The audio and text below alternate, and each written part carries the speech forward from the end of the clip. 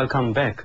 The South African Reserve Bank is a hmm. crucial national institution which is required by the Constitution to serve all South Africans. It must perform its functions independently and without fear, favor or prejudice.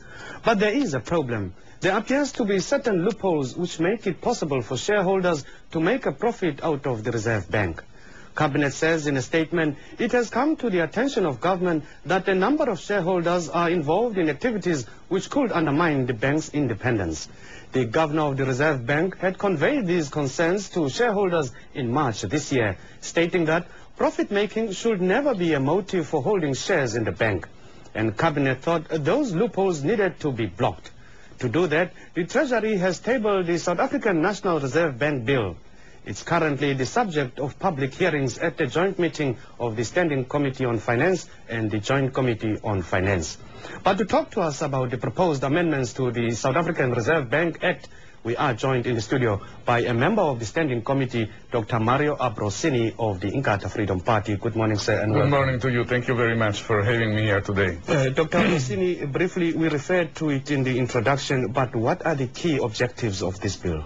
You see, the issue of uh, profits is not an issue. It's a red herring.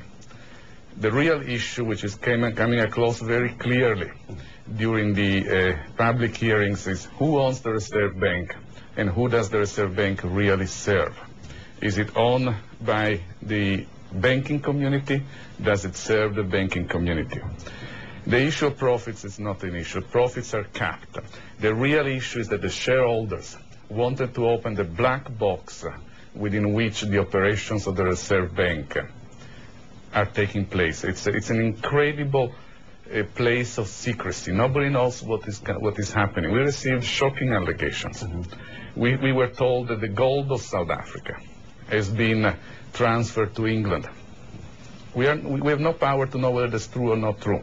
We, we, we have been told that the loss that the Reserve Bank has now post, which is a huge loss, is in effect loss from the banking system, which has been transferred to the Reserve Bank, and potential in terms of final liability to you and I as taxpayers.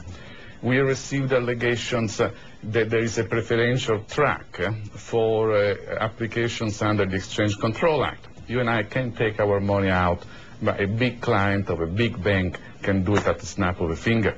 So, and all this happens in a place where there is no accountability, no transparency, and that's a big issue which uh, has been raised. The issue of profits is not addressed by the bill, has nothing to do with the bill, is not, it has been put out as a red herring, herring to trying to uh, convince uh, the, um, the, the, public to focus on that issue rather than the fundamental issues uh, of why do we need a central bank, who does the central bank serve, and who is behind, and where, is, where does the public interest lies as opposed to the private interest of the bankers. Well, but what are the main proposals in the bill? Well, the bill wants to increase the board, put all sorts of people on the board, and take all the power away from the board, and place the power of managing the bank into, into the governor, the deputy governor, and another couple of people. Would, see, the, the, the, the core the operational core of the bank is the monetary system, is the monetary committee, in which there is no government representative. There it is decided the cost of money, how many money is available. See, let me give you an, an, example that you understand the importance of what we're talking about. Not, not, you, obviously you do, but the general public can. Yes. The, we were faced yesterday with a piece of information that at the Davos meeting of 2009, it was admitted that there was a contraction of money supply in 2009 of 50%.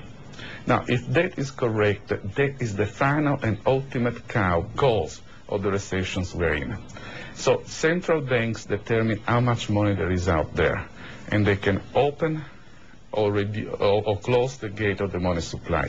Their only obligation is an outside obligation to meet inflation targets given by government. But how they do it, it happens within a black box in which we have no control. And yet that determines the size of the economy, the repayment of your bond, the interest rates, and effectively the future of the country and the world. If you could have it your way, Dr. Ambrosini, uh, what would your views be with regard to transparency? What is the position of the Well, you see, there, there are two functions. There is the function of regulating the banking system, making sure that there are reserves in place, and that's what they should do. Then there is another function, and I stand with Milton Friedman. This is not my thinking. They should not print our money.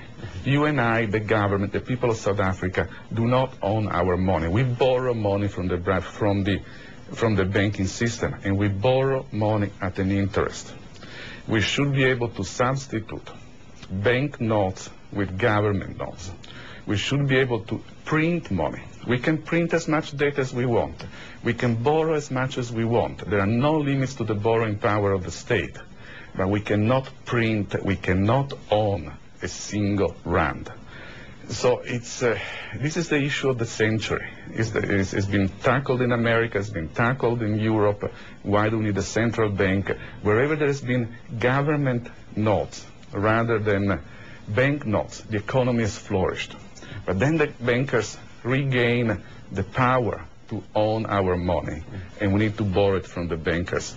So this is a crucial issue for South Africa because we are in a crisis. A crisis is a time of opportunities. We could experiment something new. This is what emerged yesterday during the public submissions. There were three or four of these submissions saying, now is the time of the crunch. Let's look beyond this bill and let's have a comprehensive look uh, at what the, res- the Reserve Bank does and what should be doing. Today we're going to have more of these public hearings on the same issue. You're saying that uh, the shareholders seem to be operating in a dark room. Uh, what would you propose then? No, Uh, no, no, sorry. They are not the shareholders which operate in the in a in a, in, in a in a black box. They are out there outside the box to open the box for their sake and for our sake. The entire bank operates in the black box. There is no accountability. There is no transparency. In spite of the governor now making some noise about transparency, but the entire bank doesn't operate in terms of the of the uh, of administrative law. It, do, it doesn't make decisions on records. It is a law unto itself, and it's a law which controls our economy. It's way more powerful than Parliament, the Minister of Finance, uh, but then the how, President. how, how can it then be controlled without interfering in the operations of the bank? Well, you know, first of all, knowledge. Secondly, what is the role? We need to redefine the role. And third, transparency, transparency, transparency. So the, in effect, the, the, the, there shouldn't be private shareholders. We, as IFP, have been saying over and over, you can't own an organ of state. We, we, th- there should be a right issue. Government should gain 50% of, uh, of the shares, and we should become, it should be go- go- government owned as Eskom or anything else is. But uh, they are fighting a battle for you and I for transparency, and they are, uh, uh, and it's not for greed because their, their, their profits are capped, so they couldn't gain more out of this process. We, It's- we, we've definitely run out of time here, Dr. well, but let's, let's continue this dialogue. It's important for the country. We will certainly follow those public hearings. Thank you very Thank you much for very coming much. through, sir. Thank you. Uh, a hundred years ago, the Union of South Africa was established. Earlier this